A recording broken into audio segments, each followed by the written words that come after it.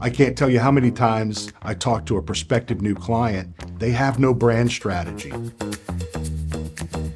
Ignite is our branding methodology for building companies. It forms the basis for all of your other marketing communications that follow. Ignite works really well for startups or existing brands. Sometimes your brand has been out there, but it's little more than a logo and it's starting to fragment within your organization. Sales are fine, but in the back of your mind, there's that little tick, there's that little fear that we're growing for now, but we're shooting from the hip.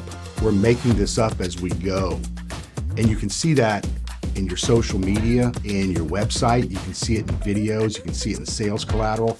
They look different. There's no cohesiveness, there's no consistency. We can help with that.